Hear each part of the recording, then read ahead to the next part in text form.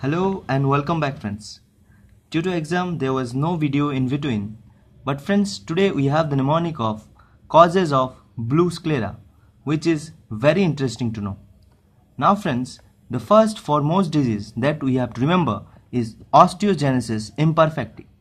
Now in the osteogenesis imperfecti the clinical features or the other features of osteogenesis imperfecti codes the mnemonic. So friends, the first cause of blue sclera is osteogenesis imperfecti. Now, the clinical features, it is autosomal dominant.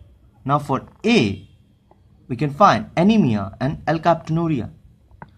Now friends, multiple diaphyseal fractures. So M for Marfan syndrome and Marshall-Smith syndrome. Now friends, for P, we can find pathological fractures. Yes, there is pathological fractures multiple pathological fractures.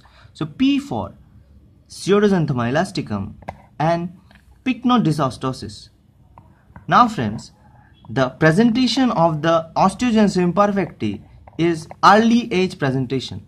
So E for early age presentation, E for Ehlers-Danlos syndrome. Friends, there is another thing that we are revising or we are recalling the two topic at a time. So friends, if you like this video, Please let me know in the comment section. Give your valuable suggestion regarding the topic about which we should make mnemonic. So friends, thanks for watching and see you in the next week.